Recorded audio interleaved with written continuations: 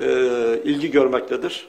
Bu sefer de yaklaşık 30'a yakın yurt dışı, dünyanın her yerinden e, siyasi partilerden temsilcilerimiz olacak, misafirlerimiz olacak. Aynı şekilde e, yüzlerce misafirimiz o ülkelerin yanı sıra e, burada bulunmuş olacaklar. Yaklaşık 30 ülkeyle bu temsil edilmiş olacak. Tabii kongrelerimizin bir özelliği bir AK Parti geleneği olarak Cumhurbaşkanımızın hassasiyetle ve iradeyle yürüttüğü şekilde tecrübe ve değişim dengesinin her seferinde milletimizin talepleri doğrultusunda yeniden kurulmasıdır. Aynı şekilde biz bir Türkiye partisiyiz, bir merkez partisiyiz. Hem Türkiye'de yıllardır demokratikleşmeye öncülük eden Türkiye'nin en büyük siyaset markası olarak yolumuza devam ediyoruz. Hem de artık bir dünya markası olarak siyaset yapma biçimimiz, kurumsal kimliğimiz, kurumsal niteliklerimiz referans alınmaktadır. Bu bakımdan AK Parti kongreleri aynı zamanda dünyaya verilen bir mesaj niteliği de taşımaktadır. Dünyada birçok siyasi parti, dünyada birçok e, odak bunu yakın bir şekilde izlemektedir. Büyük milletimizi bir kere daha kongremize 7 Ekim günü davet ediyoruz. Bu büyük demokrasi buluşmasında, demokrasi şöleninde Cumhurbaşkanımızın çok güçlü mesajları olacaktır. Türkiye yüzyılının devamı, Türkiye yüzyılıyla ilgili verilen mesajların devamı, önümüzdeki dönemin kucaklanması, milletimizin taleplerinin, özlemlerinin yerine getirilmesi, bölge barışı, dünya barışı ve insanlığa söyleyeceğimiz sözler bakımından sosyal alandan siyasal alana, demokratikleşmeden bütün kurumsal e, yeniliklere kadar söylenecek çok şey gündeme e, gelecektir. Dolayısıyla gençlerin, kadınların, değişimin, tecrübenin ve Türkiye'nin bütün sosyolojisinin bir arada kucaklandığı bir tabloyla her seferinde parti kurullarımız oluşturulur. Bunu bir kere daha kongre günü hep beraber göreceğiz. Ayrıca şunu da ifade etmek isterim. Bu kongreler önümüzdeki döneme ışık tutacak, siyasi partiler açısından da oluşacak gündemi belirleyecek nitelikte Cumhurbaşkanımızın mesajlarıyla donanmaktadır. Karşımızdakilerin değişim miydi, statüko muydu gibisinden tartışmalar yaptığı bir dönemde AK Parti bir kere daha siyasi geleneklerini, tecrübesini ve değişimini bir arada kucaklayacak siyasi sentezleri, siyasi formülleri, siyasi denklemleri üretecek kapasitesini ortaya koyacaktır. Büyük milletimize şimdiden hayırlı olsun. Bütün milletimizi, bütün vatandaşlarımızı kongremize, Sayın Cumhurbaşkanımızı dinlemeye, kongremizdeki demokrasi şölenini hep beraber yaşamaya davet ediyoruz. Tabi bütün bu demokratikleşme, Türkiye'nin bu büyük meseleler içerisinde kilit rol oynadığı bir dönemde maalesef dün son derece vahim bir gelişme yaşandı ve Türkiye Cumhuriyeti tarihinde ilk defa bu kadar vahim bir skandala imza atıldı. Bu skandala imza atan kişi CHP Genel Başkanı Kemal Kılıçdaroğlu. Dün CHP grup toplantısında Türkiye Büyük Millet Meclisi'ne Gazi Meclis demediğini, Gazi Meclis demekten vazgeçtiğini ifade eden, Türkiye Cumhuriyeti tarihinde hiç kimsenin ağzına almadığı, hiç kimsenin aklından bile geçmeyen, bir eleştiri olmadığını herkesin bildiği, Yüce Meclis'e hakaret anlamına gelen bir cümle kullandı. Maalesef gelinen nokta vahimdir ve Sayın Kılıçdaroğlu adına bile üzücüdür. Çünkü Gazi Meclis milletin ortak değeridir. Gazi Meclis milletin bayrağıdır. Gazi Meclis milletin egemenliğinin simgesidir. Bu meclis iki kere gazi olmuştur. Kurtuluş Savaşı'na başkomutanlık etmiştir. Gaza yapmıştır ve gazi olmuştur. 15 Temmuz'da da direniş ortaya koyarak ikinci kere gazi olmuştur. Ben bu meclise gazi demeyeceğim diyen birisi kesinlikle siyasal alandan, meşru alanda siyaset yapan birisinin diliyle konuşmamaktadır. Türkiye Büyük Millet Meclisi'nin dünyadaki hiçbir mecliste olmayan bir vasfı vardır. O da şudur. Dünyadaki bütün meclisler bir kurtuluş savaşının sonunda kurulmuştur. Bir tek ve sadece Türkiye Büyük Millet Meclisi, Yüce Meclis bir kurtuluş savaşına bizzat komandanlık etmiştir. O sebeple gazi sıfatını sonuna kadar hak etmiştir. Başka meclisler verilen savaşların sonunda kurulurken Gazi Meclis Polatlı'dan top sesleri gelirken bile o milletvekillerinin meclisi terk etmemesi sayesinde gaza yaparak bizzat Kurtuluş Savaşı'na istiklal mücadelemizde başkomutanlık ederek gazi olmuştur ve bu sıfat ve bu nitelik nitelik bir tek Yüce Meclis'e aittir. Dünyada böyle başka bir meclis yoktur. Dolayısıyla gazilik ünvanını bedel ödeyerek, can vererek hak etmiş bir meclistir. Yine 15 Temmuz günü de o hain darbe girişimi, Fethullahçı terör örgütünün darbe girişimi karşısında bombalanmıştır bu meclis. Ama bu meclis egemenlik kayıtsız şartsız milletin ilgesini terk etmeyen, o darbecilere karşı direnen meclis başkanımızın ve milletvekillerimizin iradesi sayesinde o darbeye teslim olmamıştır. Ve gazi ünvanını nasıl hak ettiğini bir kere daha göstererek ikinci kere gazi olmuştur. Bu meclise ben gazi meclis demiyorum diyen birisinin bu ülkenin temel meşruiyet değerleriyle sorunu olmaktan öte açık bir kavgası olduğunu ilan ettiğini görüyoruz. Sayın Kılıçdaroğlu'nun bu ifadesini Yüce Meclisimize dönük bu hakaretini şiddetle kınıyoruz. Bakın ifade ediyorum, Türkiye Cumhuriyeti tarihinde böyle bir hakarete imza atan, böyle bir skandala imza atan ikinci bir kişi gelmemiştir. Bu Türkiye'ye saldıranların bile aklından geçmeyen çok ayıp bir ifadedir. Neymiş bunu söylemesinin sebebi? Cumhur İttifakı'nın orada kullandığı oylar ve oradan geçirdiği yasalarmış. Ne zamandan beri Türkiye Büyük Millet Meclisi'nin iradesinde meclisin çoğunluğuyla geçen yasaların meşruiyeti bir kişi tarafından tartışılır oluyor. Biz nerede gördük Türkiye Büyük Millet Meclisi'nin iradesinin tartışıldığını? Bunu darbeciler yapar. Darbeciler yaptılar. Meclisin meşruiyetini ortadan kaldırmak için. Meclisteki yasaları bahane ederek.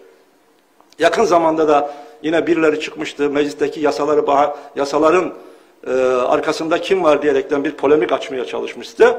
Bu yassada zihniyetinin, 12 Eylül zihniyetinin bu ülkenin başına bela ettiği bir hastalık, kötü niyetli bir zihniyettir. Çıkmış Cumhur İttifakı'nın kullandığı oyları, geçirdiği yasaları gerekçe göstererek meclise gazi de, meclis e, demeyecekmiş. Meclisin meşruiyetini tartışmak kimsenin haddine düşmez. Hele Kılıçdaroğlu'nun kendisini meclisin meşruiyetini tartışacak üst bir konumda görerek bu şekilde konuşması bizim bu ülkede darbecilerin dilinden alışık olduğumuz, çok iyi tanıdığımız bir üsluptur. Gazi Mustafa Kemal'in meclis başkanı olduğu, bu ülkenin kurucu cumhurbaşkanı olarak, bu meclisin başkanı olarak yürüttüğü bütün süreçler dikkate alındığında, bugün ne zaman bir laf açılsa biz Atatürk'ün kurduğu, partisi, kurduğu partinin devamıyız diyenler, bugün Atatürk'ün kurduğu partinin devamı olmadıklarını her vesileyle ve her sözleriyle açık etmektedirler. Şimdi Sayın Kılıçdaroğlu'nun şöyle bir misyonu kendisine biçtiğini görüyoruz. Atatürk'ün hatırına, Cumhuriyet Halk Partisi'ne oy veren değerli vatandaşlarımızın bütün duygularını, bütün hayallerini incitti. Ve bugün aslında bütün bu koltuğunu bırak seslerine rağmen bu tip polemikler açarak koltuğunda kalmaya çalışıyor. Sayın Kılıçdaroğlu terör örgütleri kendisine destek verirken terör örgütleri biz Erdoğan'a karşıyız, Erdoğan'ın yenilmesini istiyoruz, Kılıçdaroğlu'nun kazanmasını istiyoruz diye her gün açıklama yaparken sustu ama bugün Gazi Meclis'e saldırıyor. Kılıçdaroğlu terör, terör örgütlerine söyleyemediği sözleri Cumhurbaşkanımıza ve Gazi Meclis'e söylemektedir. Bu maalesef Türkiye Cumhuriyeti'nde siyasi tarihin en büyük skandalı, en vahim yanlışı olarak tarihe geçmiştir. Sayın Kılıçdaroğlu'nun Cumhuriyet Halk Partisi'nin kapısına kilit vurmaya çalıştığını görüyoruz. Bundan da en çok Cumhuriyet Halk Partisi'ne gönül vermiş vatandaşlarımızın incindiğini görmekteyiz. Aslında tabii onun gazi dememesi Yüce Meclis'in şanından, şerefinden ve sıfatlarından bir şey eksiltmez. Ama bu onun için bile, onun için bile fazla olması gereken bir yanlıştır. Tüm siyasi hayatı yanlışlarla geçerken Gazi Meclis'e bu şekilde saldırılması büyük bir hakarettir ve bunu ömür boyu alnında taşıyacaktır. Tabii bütün bu sürecin tek iyi yanı Kılıçdaroğlu ve onun gibi düşünenlerin bu dönem mecliste olmamasıdır. Yüce Meclis'in altında bu ayıbı o grup toplantısında işliyor ama bugün Yüce Meclis'te olmaması da en azından olumlu bir gelişme olarak kayda geçmelidir. Değerli arkadaşlar, biraz evvel biliyorsunuz bir gelişme oldu. Sayın Aliyev, İspanya ziyaretini Türkiye'nin toplantıya katılma şartı kabul edilmediği için iptal etti. Bu sebeple son derece bunu takdirle karşıladığımızı ifade etmek isteriz. Şimdi düşünebiliyor musunuz? Fransa, Almanya ve AB katılacak, Ermenistan katılacak, Azerbaycan'ı davet ediyorlar. Ama Türkiye yok. Sayın Cumhurbaşkanımız olmadan bu konuyu konuşacaklar. Peki Fransa kimdir? Fransa Minsk grubu içerisinde yıllarca sorunun çözülmemesini, sözde soykırım endüstrisini teşkil eden diasporadaki Ermenilerin sözcülüğünü yapmış bir diplomasinin temsilcisidir. Şimdi orada Fransa oturacak ama bölge barışı için bu kadar büyük bir misyon üreten Cumhurbaşkanımız ve Türkiye o masada olmayacak. Tabii ki bu Azerbaycan ve Aliyev tarafından, Sayın Cumhurbaşkanı Aliyev tarafından kabul edilemezdi. Ve onlar da bu şekilde bir tutum ortaya koydular. Yıllar süren, on yıllar süren Dağlık Karabağ'la ilgili müzakereler neticesinde Minsk grubunun yaptığı tek şey Ermenistan işgali lehine sürecin uzatılması ve çözümsüzlüğün derinleştirilmesinden başka bir şey değildi. Bugün bu durum çözülmüştür. Karabağ asli aidiyeti olan Azerbaycan'a dönmüştür. Azerbaycan'ın toprak bütünlüğü çerçevesinde de hak tecelli etmiştir.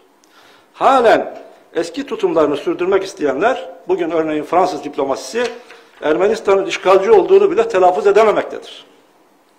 Bunu bile telaffuz edemeyenlerin güya barış masası kuracaklar orada, onlar oturacaklar ama Türkiye ve Cumhurbaşkanımız olmayacak. Peki Cumhurbaşkanımızın iradesi nasıl olmuştur?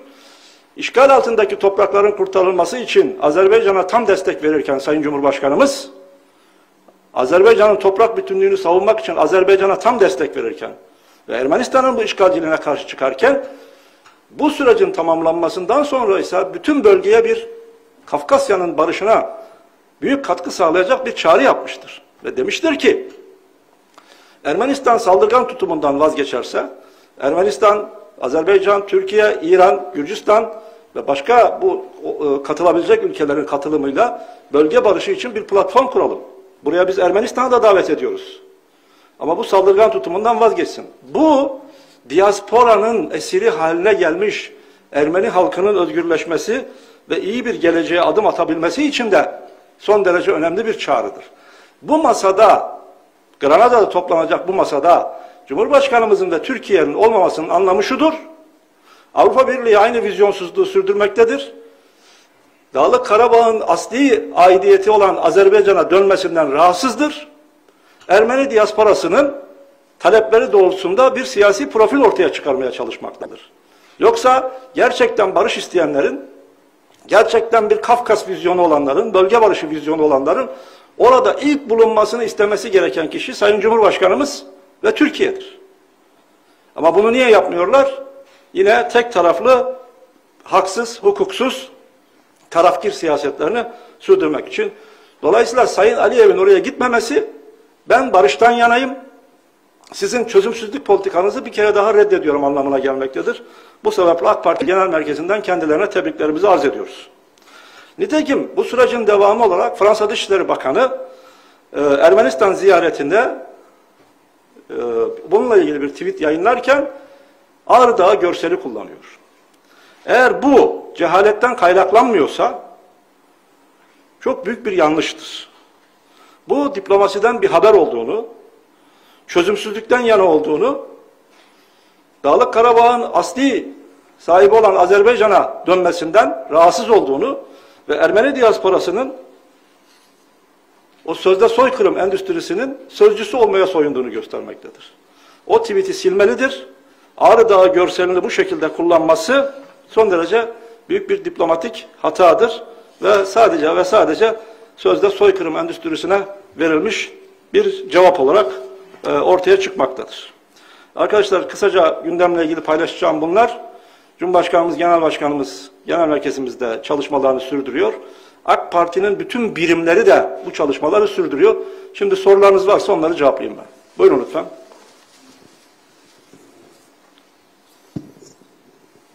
Efendim geçtiğimiz günlerde İçişleri Bakanlığı'na bir saldırı oldu ve o saldırıyı terör örgütü PKK üstlendi.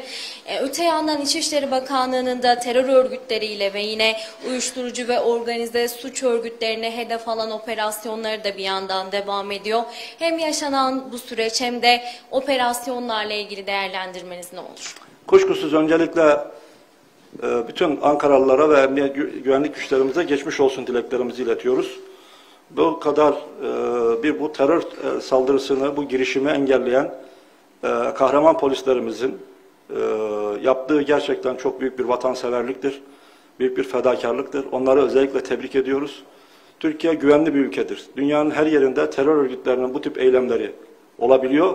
Ama netice itibariyle kahramanlar operasyonuyla da gördüğümüz gibi kararlılığımız e, sürmektedir. Bizim terörle mücadelemiz kesin ilkelere, tavizsiz bir tutuma e, sahiptir. Sayın Cumhurbaşkanımızın meclis açış konuşmasında dediği gibi hiçbir şekilde geri çekilmek yok. Ansızın gelebiliriz ilkemiz devletimizin terörle mücadelesinin ilklerine işlemiştir. İlk iktidara geldiğimiz günden beri bunu sürdürüyoruz. Her gelen bakanımız bu politikayı sürdürdü ve her gelenle birlikte bu katlanarak devam etti. Anayasanın, hukukun verdiği yetkiler içerisinde ve aynı zamanda da hükümetlerimizin ortaya koyduğu tavizsizlik prensibi çerçevesinde Cumhurbaşkanımızın talimatları doğrultusunda bunu kararlılıkla sürdüreceğiz. Kuşkusuz her yönüyle ele alınacaktır. İstihbari açıdan, diğer açılardan, tedbirler açısından ama geçtiğimiz dönemde de yaşadık. Dünyanın başka yerlerinde de olabiliyor. Ama dediğim gibi netice itibariyle Türkiye güvenli bir ülkedir ve bu güçlü bir şekilde bu terörle mücadele tavizsiz bir şekilde sürecektir. Bundan sonra da daha katlanarak, daha da pekişerek sürecektir. Hiçbir şekilde demokrasimizi, hukuk devletimizi terörün bu yönlendirmelerine e, yöne, e, yönlendirmelerine e, müsaade etmeden ilerleteceğiz. Tabii bu terör örgütü olduktan sonra Türkiye işte bu e, terörle mücadeleyi yaparak e, büyük zararlara uğruyor diyenlerin aslında terör örgütüne destek veren aşağılık açıklamalar yaptığını da takip ediyoruz. Bunları kendi aşağılık açıklamalarıyla baş başa bırakıyoruz. Biz bu mücadeleyi milletimizin desteğiyle en güçlü bir şekilde sürdüreceğiz.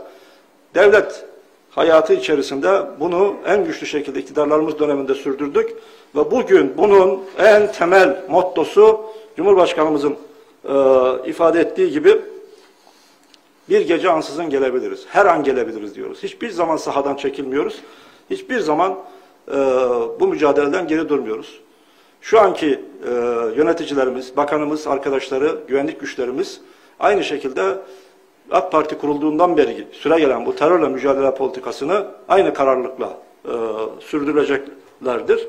Dolayısıyla burada herhangi bir e, sağda solda da bazı muhalefet partilerinden açıklamalar görüyorum. Bugün de açıklama yapmışlar. Ee, AK Parti'de terörle mücadele konusunda fikir ayrılığı var. Sanki hizipler var gibisinden açıklama yapmışlar. AK Parti'de terörle mücadele konusunda, terörle mücadelenin yöntemi, dozu, hedefleri konusunda herhangi bir fikir ayrılığı yoktur.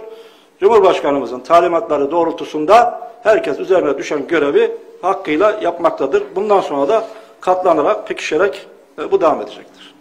Buyurun lütfen.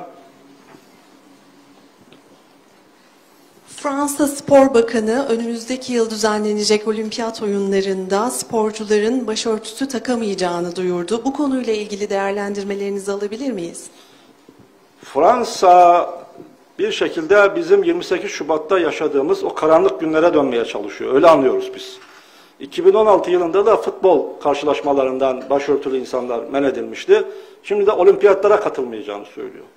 Bu mesele bütün Frans Müslüman kadınlara hakarettir ama sadece Müslüman kadınlara hakaret değildir. Bütün Fransız kadınlara hakarettir. Çünkü kadınların kılık kıyafetine bu şekilde karışılmasının aslında son derece faşizan bir uygulama olduğu dünyanın çeşitli yerlerinde görüldü.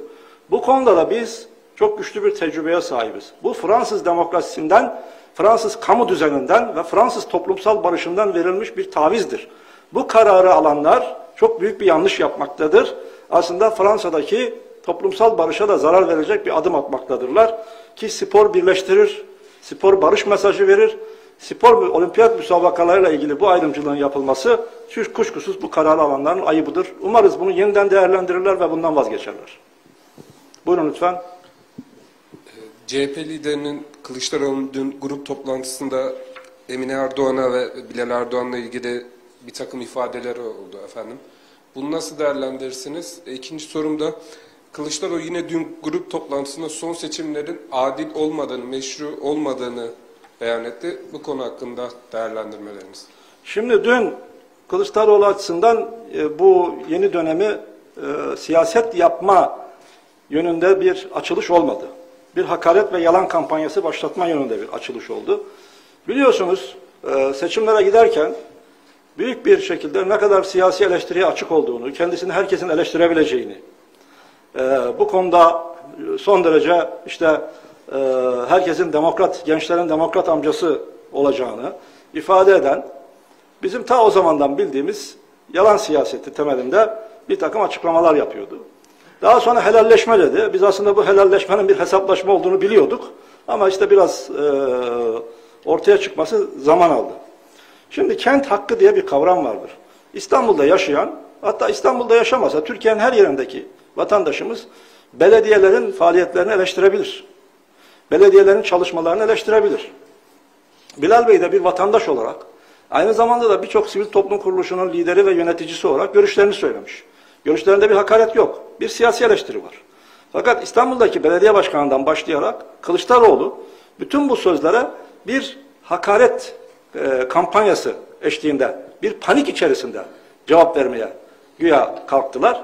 Netice itibariyle ne oldu?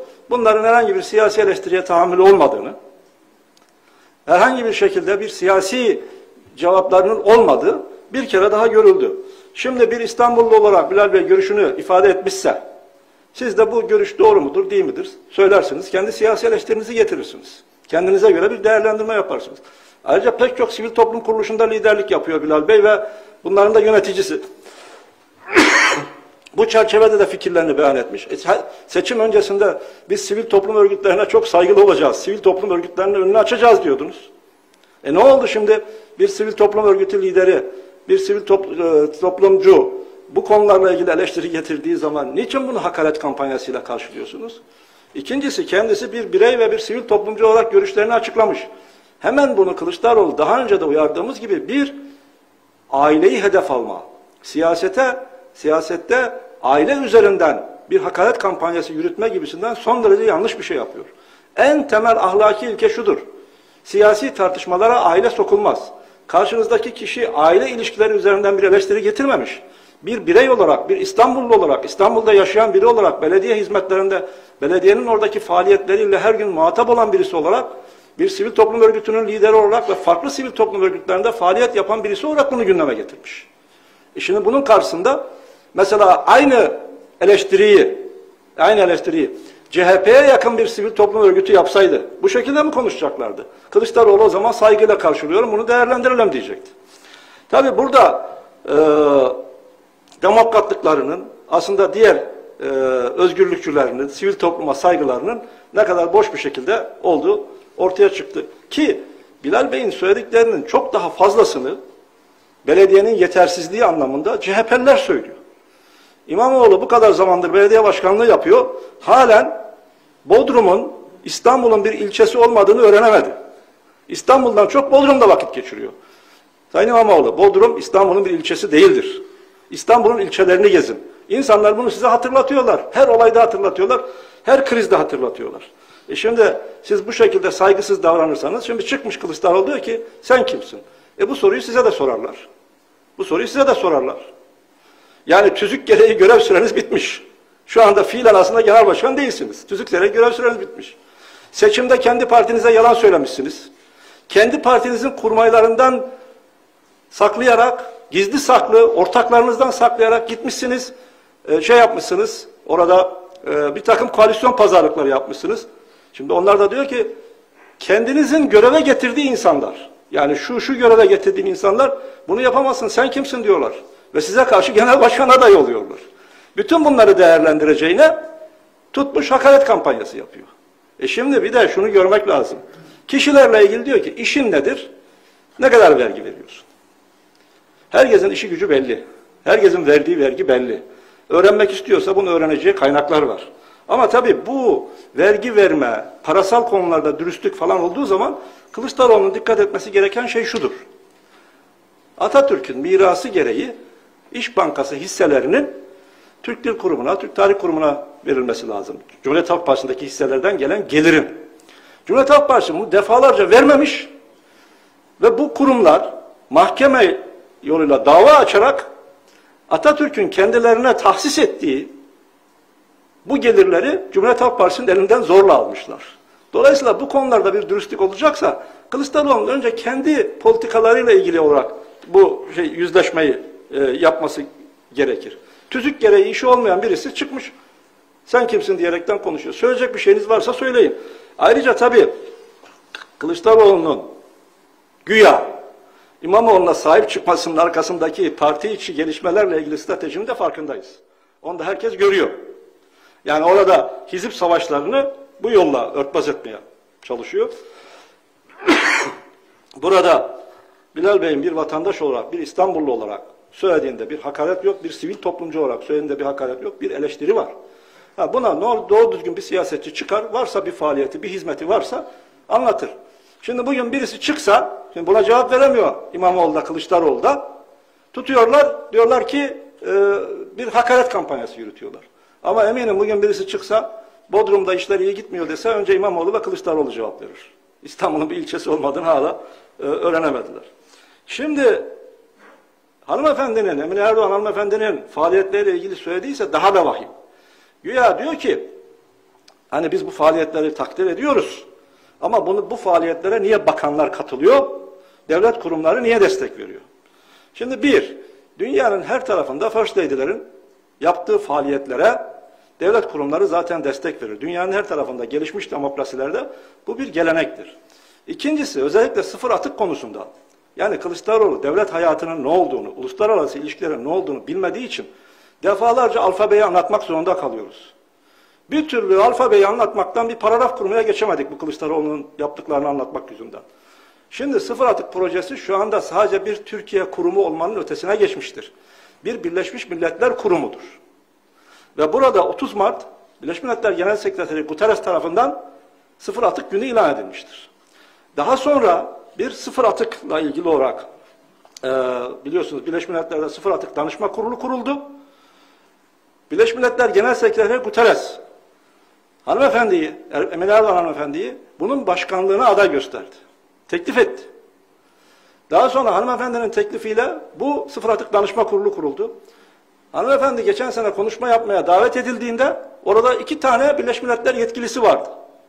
Bir tanesi Birleşmiş Milletler bu işlerden sorumlu Birleşmiş Milletler Genel Sekreteri, diğeri Habitat İcra Kurulu Direktörü. Yani bu kurum hem bir Türkiye kurumu olduğu gibi hem de artık uluslararası bir Birleşmiş Milletler kurumu haline gelmiş.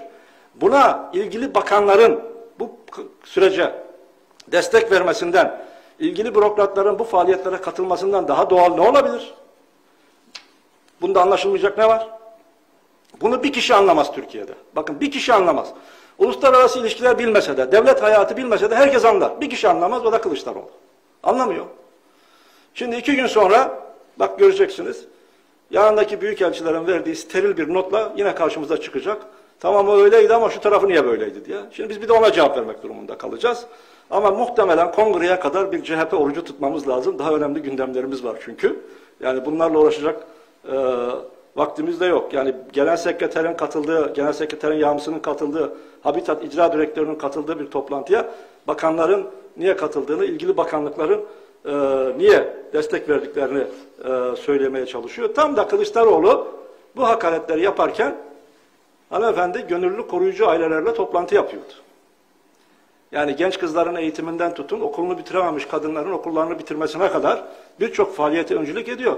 Sıfır atık projesi ise Türkiye'den çıkmış ve dünyadaki ülkeler tarafından referans alınmış, Birleşmiş Milletler tarafından da kurumsal bir yapıya büründürülmüş bir faaliyettir. Bunu iyi anlaması e, gerekiyor. İşte kendisi bir sürü orada polemikler söylüyor ama onlara defalarca cevap verdik. Hiçbirinin e, bir geçerliliği yok. Bütün bunlar konusunda bütün söylediklerini bir tane CHP Google olsa, sırf CHP'ye ait bir Google olsa, girin ona cehalet diye bir kelime yazın, size Kemal Kılıçdaroğlu diye cevap verir arkadaşlar. CHP Google'u bu şekilde bir sonuç üretebilir. Buyurun. Efendim CHP'de kurultay süreci devam ediyor. Kurultay sürecinde çokça gündeme gelen bir genel merkezciler, değişimciler tartışması var. E, bunu nasıl değerlendiriyorsunuz? Şimdi arkadaşlar ben siyasi kavramlar, kavramların namusuna inanırım. Ve siyasi kavramların haysiyetinin korunması gerektiğine inanırım. Siyasi kavramların haysiyetini korumazsak siyasi zihniyeti ve siyasi e, yol haritamızı da koruyamayız. Bakın değişim çok kıymetli bir kelimedir. Değişim demek bir mentaliteden başlar, uygulamaları ve yöntemleri içerir. Şimdi ortada bir takım isimlerin birbirine karşı olmasından başka bir tartışma yok. Dolayısıyla CHP'deki tartışma bir zihniyet kavga, e, farklılığının ortaya çıkardığı bir yarış değil. CHP'deki tartışma otoriter bir zihniyetle demokrat bir zihniyetin yarışı değil.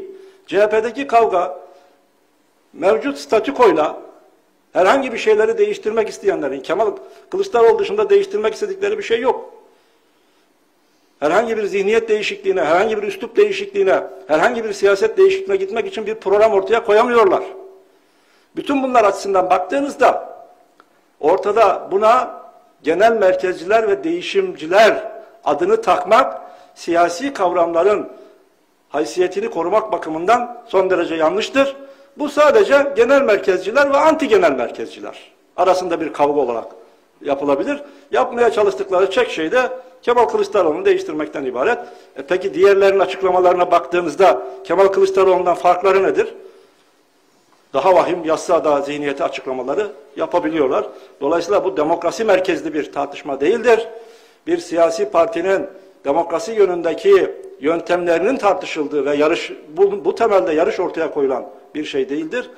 Birileri maalesef Cumhuriyet Halk Partisi'nin tabağında ona gönül vermiş değerli vatandaşlarımızın bütün hissiyatlarını da inciterek sadece koltuk kavgası yapmaktadır. Değişim nasıl olur? Tecrübe, gelenek, değişim bu denge nasıl kurulur? 7 Ekim'de AK Parti Kongresi'nde hep beraber göreceğiz.